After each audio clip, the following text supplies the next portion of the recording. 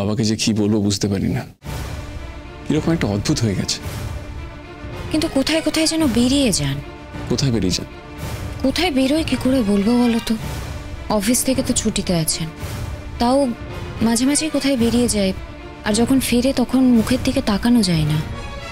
কেন? ভীষণ রেগে থাকেন। মুখটা ভার করে থাকেন। আর এখন তো এসে অনেক সময় খেতেই চান না। সে কি আমাকে বলনি তো। সারাক্ষণ কাজে ব্যস্ত থাকো কখন বলব বলো তো? না, আমি জানি না। আমাকে বলেও বা কি হবে? বাবা তো বাচ্চা নয়। বাবাকে ধমকে খাওয়াবো। ব্যাপারটা তো খারাপ দিকে যাচ্ছে কেন? আগে তো বাবা এত ফাইট করেনি। সেটা কি জেঠুমনিকে মেনে নেবে না বলে? দেখলে তো সেদিন টাকা পয়সা নিয়ে কি কাণ্ডটাই হলো। বাড়িটা সারাক্ষণ কীরকম থমথমে হয়ে আছে। সবসময় সকলের মনে হচ্ছে, কি হয় কি হয় একটা ব্যাপার। এই বুঝি বাবা জেঠুমনিকে আবার অপমান করে। এক্ষুনি যদি আবার মেজমা বলে যে আমি আর এই বাড়িতে থাকব না। আবার ভয় হয় যে কখন যে দাদা ভাই রিয়াক্ট করে বসবে। মোট কথা বাড়ির পরিবেশটা ভালো নেই গো। আমার ভালো লাগছে না। আমি চেষ্টা করছি যাতে তাড়াতাড়ি এই সিচুয়েশনটা এই সিচুয়েশনটা পার হয়ে যায়। আমি তার জন্য ঠাকুরের কাছেও প্রার্থনা করছি। বাবার ব্যবহার দেখে মনে হচ্ছে বাবা কোনোদিনই জেঠুমনিকে মেনে নেবে না। জেঠুমনি তার কি প্রমাণ দেবে? তার স্ত্রী যখন তাকে চিনতে পেরেছে তাকে যখন স্বীকার করেছে বাবা কি প্রমাণ চায়? কি জানি বলছেন তো উনি জন্ম থেকে দেখেছেন। আর মেজমা দেখেছে বিয়ের পর থেকে। মানে উনি যতটা চেনা কথা মেজমা ততটা চিনতে পারবে না। বাবার মনে হচ্ছে যে উনি মেজ জেঠুমনি নন। কিন্তু তুমি বলো, এই মানুষটাকে কখনো ছলনা করতে পারে? দেখো মেজর জেঠুমনিকে আমি কিন্তু জন্ম থেকে দেখিনি। তাকে শুধু ছবিতেই দেখেছি। তার ছবির সঙ্গে কোনো মিল নেই। কিন্তু এটা তো ভাবতে হবে। তিনি যখন এখান থেকে চলে গেছিলেন, তখন ইয়াং বয়সে চলে গিয়েছিলেন মাঝখানে এতগুলো বছর চলে গেছে। আই মিন চেহারাতে তো অমিল হবেই। বাবা যদি নিজের মনে মনে একটা ইলিউশন নিয়ে বাঁচে, যেই দাদাকে দেখেছিল সেই দাদাই ফিরে আসবে সেটা তো হতে পারে না। উনি তো বলেছেন যে কেউ যদি এই কথাটা মানে ওনার কথা কেউ মেনে যদি না নেয় তাহলে উনি আসল মেজ জেঠুমনিকে এনে প্রমাণ করে দেবেন যে যিনি আমাদের বাড়িতে আছেন তিনি ভণ্ড প্রতারক। বেশ তো করুন না। তাহলে ততদিন শান্ত থাকুন। যতদিন প্রমাণ না করবেন ততদিন কিন্তু জেঠুমনিকে কোনো অসম্মান করতে পারবেন না। আর যেদিন প্রমাণ করবেন সেদিন মেনে নেব। সেই ডিলেই আসা যাক। বাবার সাথে তো কথাই বলা যাচ্ছে না। মাও তো এখন বাবার সাথে কথা বলা বন্ধ করে দিয়েছে। আর বাবা তো মার সাথে সইও না। কোথায় সে বাবা? ড্রয়িং রুমে। বড্ড বাড়াবাড়ি করছে। আমি কি সাধে এই কথাগুলো বলছি বলো? আর আমার তো মনে হচ্ছে উনি সব কিছুর মূলে আমাকে দায়ী করছেন আমাকে সন্দেহ করছেন। মনে হওয়ার কিছু নেই। বাবা তো পরিষ্কার মুখে বলেছে যে জানি না আমি এর থেকে কোনো বিপদে পড়ে যাব কিনা কি জানি। বাবার তোমাকে বিপদে ফেলার ক্ষমতা নেই। রোশনি সঙ্গে থাকলে ভাবতে পারতাম। বাবা হয়তো চাইলে তোমাকে বিপদে ফেলতে পারেন যদি রোশনি সঙ্গে থাকে। কিন্তু এখন যেহেতু রোশনি নেই পারবেন না। আমি শুনেছি আহ, বোধ বোধহয় এখন বাড়িতে এসেছে। কি করে জানলে? না আসলে বাবা ফোনে কথা বলছিল ওই নামটা একবার উচ্চারণ করে ফেলে। তখনই আমি শুনতে পেয়েছি। মনে হয় পেরোলে ছেড়েছে কয়েকদিনের জন্য। এত বড় একটা কেস ঝুলছে না? পেরোলে ছেড়েছে তো। আমার মনে হয় না নতুন কোনো অপরাধ করা সাহস পাবে। তবে বাবা যে ওর সঙ্গে যোগাযোগ রাখছে আশ্চর্য ব্যাপার। আমাদের ফেস লস করছে। কালকে বাবাকে বলব সকালে। না না না না তুমি কিছু বলতে চেও না। আমার কথা শুনে তোমার কিছু বলার দরকার নেই। তুমি যদি নিজে কিছু শোনো তখন বলো। তুমি কিছু বললেই বাবা বলবে যে কে বলল। কে বলল বলি যে তোমাকে বলতে হবে তার তো কোনো মানে নেই। দেখো আমি তো শিওর না। আমি জাস্ট শুনেছি। আমি ভুলও হতে পারি। তুমি যদি নিজে শিওর না হও তাহলে কিছু বলতে চেও না বাবাকে। দেখি কি করা যায়। তুমি চিন্তা করো না। আমি তো আছি। আমার উপরে ভরসা রাখো। আমার স্ত্রীকে কেউ বিপদে ফেলতে পারবেন আমার স্ত্রীকে কেউ বিপদে ফেললে তাকে আমি ছেড়ে দেবো? তুমি শুধু নিজের লক্ষ্যে ঠিক থাকো। লেখাপড়া কলেজ এসবে কনসেন্ট্রেট করো। দেখো কিছু কিছু সংসারের কাজ ছাড়া তুমি অন্য কথা শুনতেও যেও না। মন খারাপ করবে। কি লাভ? শুনতে কি ইচ্ছে করে নাকি? কিন্তু কেউ যদি আমাকে শোনাবে বলে ওই কথাগুলো বলে তাহলে তো শুনতেই হবে। বুঝতে পেরেছি। আমার বাড়ির লোক দ্বারা তোমাকে অপমানিত হতে হচ্ছে। আই এম সো সরি এরকম ফর্মালিটি করে কেন কথা বলছো? এটা তুমি কি করতে পারো বলো? সবই আমার কপালের দোষ। আমার কোনো সময় সব কিছু একসাথে ভালো হবে না। কিছু না কিছু খারাপ একটা হতেই হবে। শোনো Jahnavi you cannot satisfy everybody সবাইকে তুমি সুখী করতে পারবে না, সেটা পসিবল নয়। কারও যদি তোমার প্রতি ভুল ধারণা হয়, সেটা নিজে থেকেই চেঞ্জ হয়ে যাবে। তুমি সেটাকে জোর করে চেঞ্জ করতে যেও না। গুরুত্বই দিও না, আমি তোমাকে বলছি। আমি শুধু তোমাকে একটা কথাই বলছি। যাই ঘটে যাক না কেন তুমি কিন্তু আমাকে অবিশ্বাস করো না। আমাকে প্লিজ ভুল বুঝো না। এই কথার উত্তর মুখে দেওয়া নিষ্প্রয়োজন।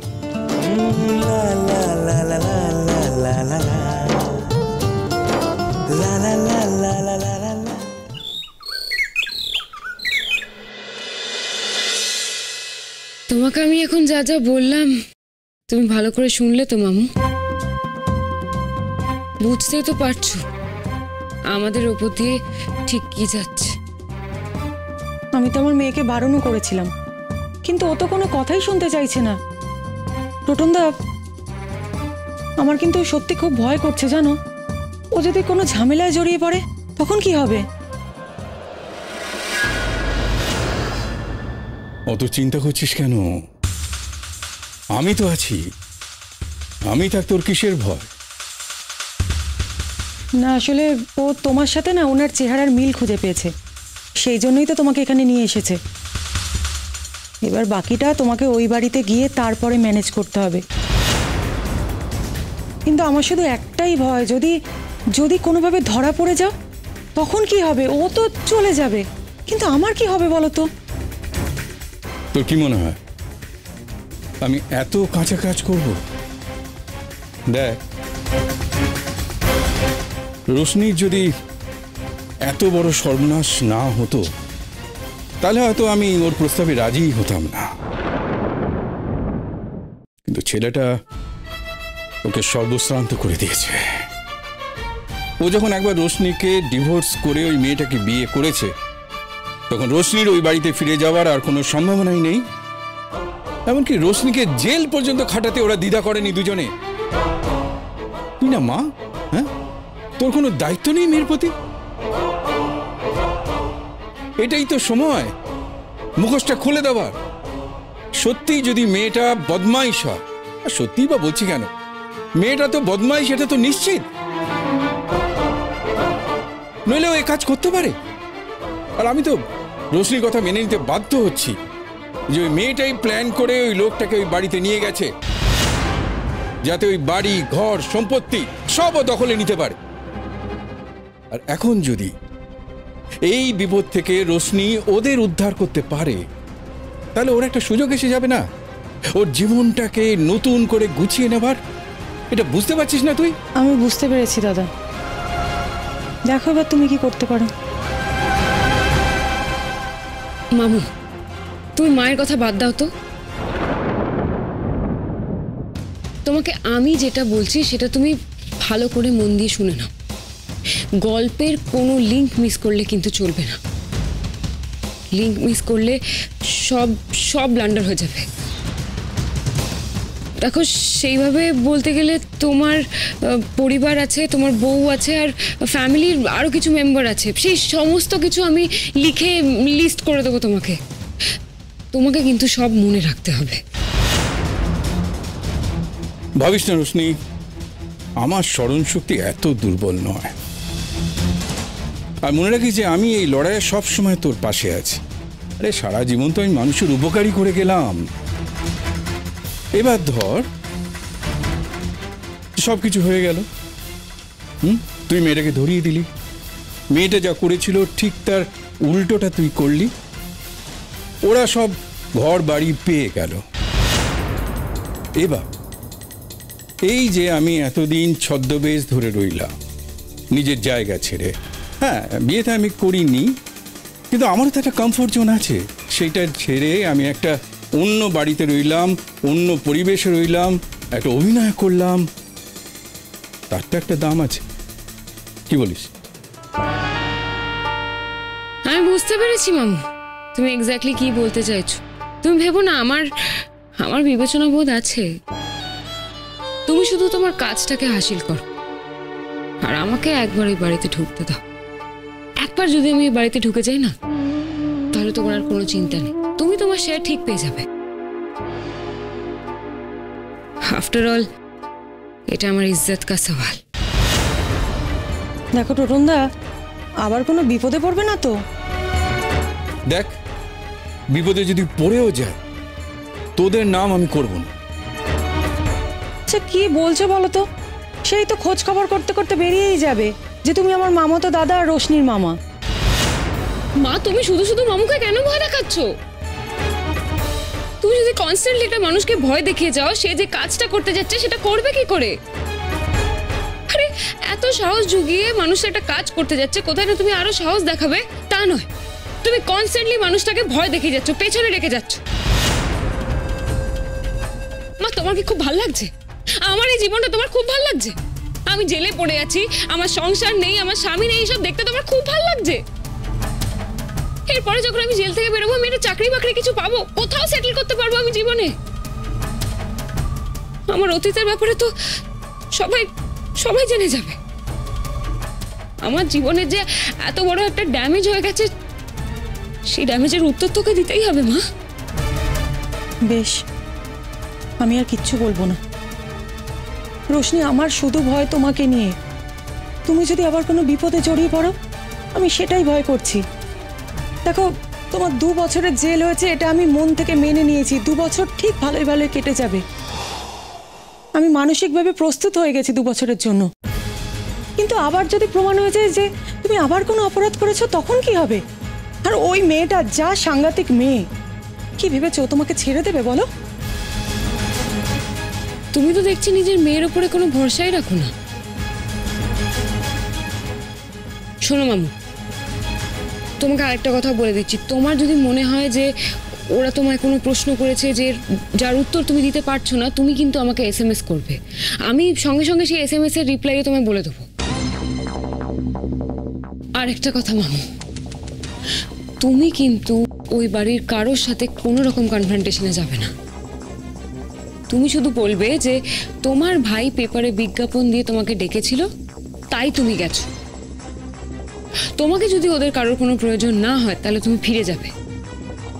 আর হ্যাঁ তোমার ওই বাড়িতে প্রধান কাজ হবে ওই লোকটাকে গিয়ে বলা যে উনি যে বাড়িতে এসে এই কাজটা করছেন, তার জন্য ওনার কত টাকার প্রয়োজন। তুমি এটাও বলবে যে পুলিশের কাছে গিয়ে তুমি কিন্তু সবটা প্রমাণ করে দিতে পারবে। তুমি বলবে যে তুমি এই বাড়িতে থাকো না, কিন্তু এই বাড়ির লোকজনের প্রতি তোমার এখনও একটা মায়া দয়া আছে। আর হ্যাঁ মামু, হর্ষদা, হর্ষদাকে কিন্তু তোমায় খাতির করে চলতে হবে। মনে থাকে যেন হর্ষদা কিন্তু তোমার ছেলে। আর ঠিক বলেছিস। হর্ষর সঙ্গে আমায় ভীষণভাবে সক্ষতা তৈরি করতে হবে। ও যাতে আমার পাশে দাঁড়ায় শেষ পর্যন্ত। না মামু। শুধু হর্ষ দাঁড়ালে কিন্তু হবে না।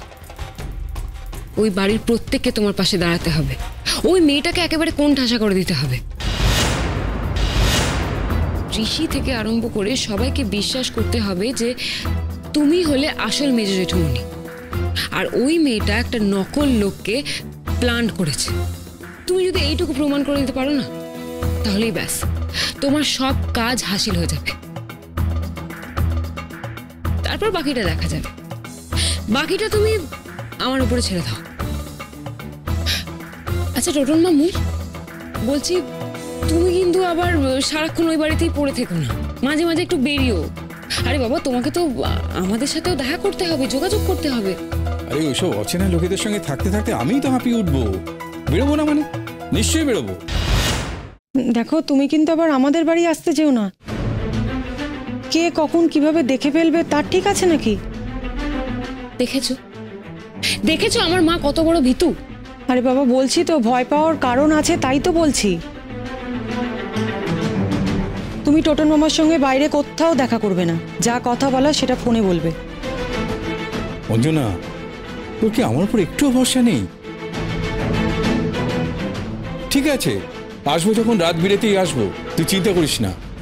তাছাড়া আমার ভগ্নিপতির সঙ্গে একটু আলোচনা করে নিতে হবে তো, নাকি? এত বড় একটা কাজ, এত বড় একটা সিদ্ধান্ত, শুধুমাত্র রোশনির কথা আমি নিতে যাচ্ছি। মামু, তোমার ভগ্নিপতি কিন্তু তোমাকে টাকাটা দেবে না। টাকা দিতে হলে কিন্তু আমি তোমাকে দেব। সুতরাং তুমি চিন্তা করো না। বাবার সঙ্গে তোমার টাকা পয়সা নিয়ে কোনো কথা বলতে হবে না। দূর পাগলি শুধু টাকার ব্যাপারেই কথা বলব? এটাই তোর মনে হলো? আমার যতদূর মনে হচ্ছে তুমি টাকার ব্যাপারটাই অ্যাসিওর করতে চাইছো।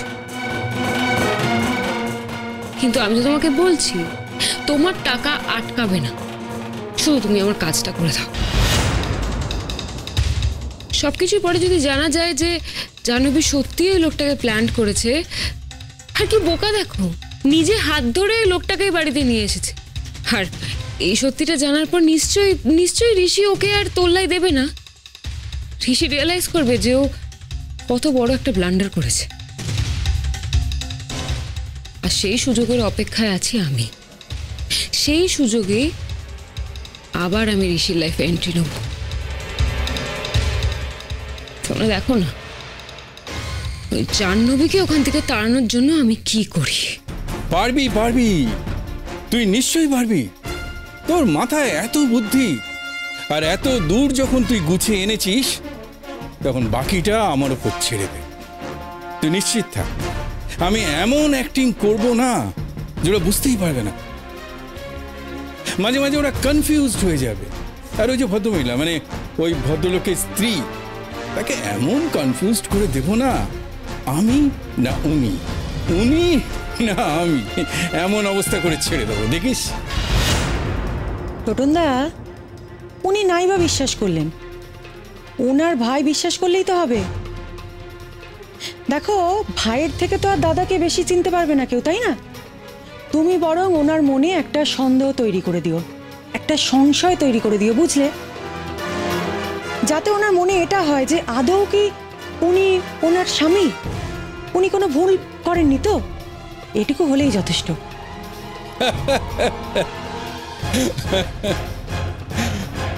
তুই আমায় শিখেছিস হ্যাঁ? তোর মেয়ে হচ্ছে পাক্কা জহুরি জহর চেনে একদম খুঁজে খুঁজে বার করে ও হ্যাঁ? হ্যাঁ। এই যে এত লোকের মধ্যেখান থেকে কত আত্মীয় স্বজন কত চেনা পরিচিত আর কাউকে বলল আর কাউকে ও দায়িত্ব দিল আমি ছাড়া হ্যাঁ? বল। সব থেকে বড় কথা কি জানো তো? ওদের বাড়ির মেজো সাথে তোমার মিলের কারণ হলো তোমরা দুজনেই অলমোস্ট একই বয়সী। ইনফ্যাক্ট তোমাদের হাইটটাও অলমোস্ট সেম আর গায়ের রংটাও প্রায় কাছাকাছি মানে তোমরা দুজনেই ফর্সা। আর শোনো, তুমি কিন্তু খুব শৌখিন মানুষ। মানে ওই ভদ্রলোক, উনি কিন্তু খুব শৌখিন মানুষ ছিলেন বলেই আমি শুনেছি। তুমি কিন্তু সব সময় একদম টিপ টপ সুটেড বুটেড হয়ে থাকবে। তোমার ওই স্যুট কেসে আমি পারফিউম টারফিউম সব গুছিয়ে রেখে দিয়েছি। যদি জিজ্ঞেস করে তোমার সংসার ধর্মের কথা? হ্যাঁ তুমি বলবে যে তোমার তোমার সংসার আছে তোমার তোমার একটা বাচ্চাও আছে। আর তুমি তো নিজে থেকে আসতে চাওনি মানে এই লজ্জায় তুমি আসতে চাওনি আর কি। তুমি বলবে যে তোমার মেয়ের বিয়ে হয়ে গেছে আর তোমার স্ত্রীর অকাল মৃত্যু হয়েছে। না হলে না হলে কিন্তু ওরা আবার তোমার মেয়ে বউ এসে দেখা করতে চাইবে। পরিষ্কার বলে দেবে যে মেয়ের সঙ্গে তোমার কোনো যোগাযোগ নেই। কি মামু? মনে থাকবে তো? তুই এটা আমার উপর ছেড়ে দে মা। তুই এটা নিয়ে এত ভাবতে যাস না। তুই বরং এদিকটা ভাব। আর শোনো আমি কিন্তু যখনই তোমাকে ফোন করব তুমি কিন্তু আমার ফোনটা তুলবে। কারণ আমি বারবার তোমাকে ফোন করতে পারব না। যদি বাই চান্স আমার নামটা তোমার ফোনে ওঠে আর ওদের বাড়ি কেউ দেখে ফেলে? শোন শোন তুই ফোন করতে যাস না আমি বরং তোকে ফোন করব সময় মতো ঠিক আছে? করবে তো। আরে বাবা আমার জন্যই তো আমাকে করতে হবে। তুই এত কেন ভাবছিস? আর হ্যাঁ মামু দু তিন দিন পর পরই কিন্তু আমরা দেখা করব। আর ভালো করে আমাদের প্ল্যানটা ছকে নো। দেখো কি হচ্ছে না হচ্ছে সব ব্যাপারে কিন্তু আমাদের ভালো করে জানাটা খুব দরকার। ঠিক আছে দু তিন দিন পর পর ফাঁক বুঝে না হয় রাতে চলে আসব। টোটনদা খুব সাবধান কিন্তু। দেখো এর আগে কিন্তু অনেক বিপর্যয় ঘটে গেছে। এই যেটা করবে সেটাই কিন্তু খুব সাবধানে করবে। ঠিক আছে এখন এগোই। কাল থেকে আমার আবার নতুন পরীক্ষা শুরু হবে। তার গোছগাছ করি। এতদিন পর আবার আমার সাতমহলা বাড়িতে ফিরবো বলে কথা হ্যাঁ? মামু, দেখো, আমার মুখ পুড়িও না। আমি অনেক হেরেছি, কিন্তু এবার আমি জিততে চাই। এটা আমার শেষ দান।